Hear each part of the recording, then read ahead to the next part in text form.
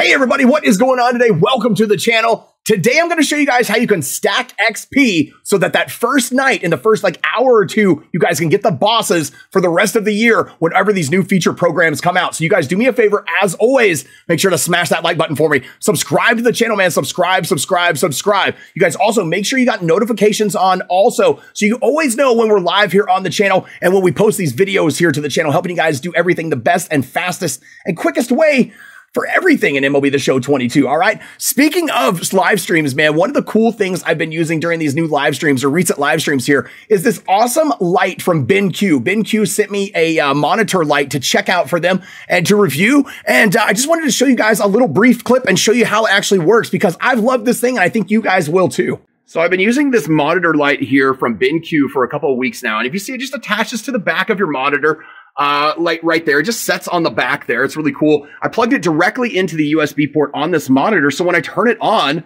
it's awesome, man. It just comes on right there. Uh, my monitor's a little dusty. Sorry. That's the only negative thing I found about this thing, man, is that I noticed I needed to dust a little bit. So if that's all you find that's negative, that's pretty good. But I've actually been moving it back and forth from this monitor to this monitor. I actually kind of prefer it over here while I'm in my workstation and everything. And it's great. Uh, it's not something that I ever thought about really buying or checking out, man. But thanks to BenQ, I don't know how I can honestly live without it now. Uh, it just helps me, uh, you know, my eyes are a little older. I know we have a lot of uh, older crowd maybe that watch the channel and stuff here too. And, and uh, it's a little hard for me to see some of this stuff. So reading the chat and all that is a little easier with this BenQ monitor light. It just attaches up under there. It's got lots of different settings uh, to it and you can change the color of the light and the, and the brightness as well. Uh, but I definitely recommend it, man. You guys check them out. The link is in the description below. And uh, BenQ, thanks again, man, for uh, for showing me this. I'm really interested in checking out the uh, the Halo light as well. That works uh, especially well for curved screens. All right, you guys. So if you're interested in that, you can find the link in the description below. They're available on Amazon. I love this thing, man. I absolutely love it. So I don't know how I could live without it. But here we go. Let's cover this and talk about how you guys can stack this XP. It's pretty cool. If you go into all of these feature programs, you guys know where we find these feature programs right here. Uh, we back out and we go into the feature programs uh, right here in Diamond Dynasty.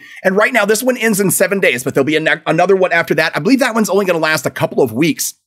So you're going to, going to want to be able to get that XP as quick as possible for that. If you guys notice all the ways that you can get XP when you look at this, you scroll all the way to the very bottom. March to October. Have you ever noticed when these programs come out that some people are able to get the card, the bosses within like a first hour, the first hour or two?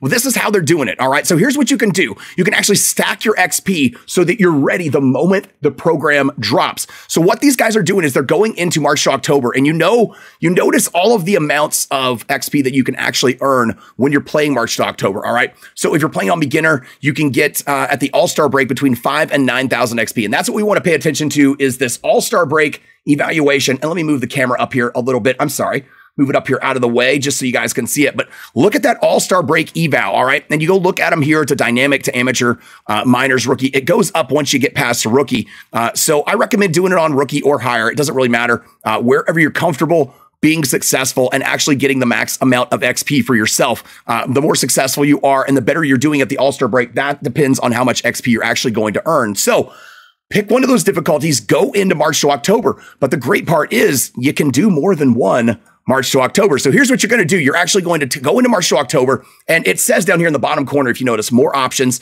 So you guys can hit more options there. Uh, and you can go to either start new or load saved file. You can save multiple versions of these that you already have ready. So what you're going to do is you're going to go into one and uh, you'll play up to that point of the All Star break. And if you don't know where the All Star break is going to be at, go check on the actual schedule because this is the 2022 act or 2022 actual MLB schedule that you're following. So you'll find the date. That way you can keep easy track of it. It's usually going to stop you that game before it because you want to get momentum in March to October and getting momentum going into that final game. It's usually going to make you play that final game. So what you want to do is stop before you get there to the All Star break. Leave that as the only game left you have to play. Once you do that, you can stack multiple ones of these in there. Uh, I believe you can get up to up to 10 if i'm not mistaken you guys let me know if i'm if i'm mistaken on that but i believe it's up to 10 that you can stack in here. Just play them all up to the all-star break. Stop and wait. Then you guys go in that day that the program drops. You go in and play 10 games for 10 different march to octobers and after every game you're going to get that large chunk of whatever difficulty you selected for your xp and that's how you can stack your xp and be prepared the moment the featured programs drop here in mlb the show 22 March to October is a lot different this year. It's changed. It's a little bit more fun. Uh, we'll be doing it here on live stream. You guys make sure to check those out right here. 10 a.m. Central, we're streaming most days right here on YouTube. But this is a great way to be able to do this. This is how people are doing it. This is how everybody's getting those those bosses that first night. You can make max amount of stubs doing this.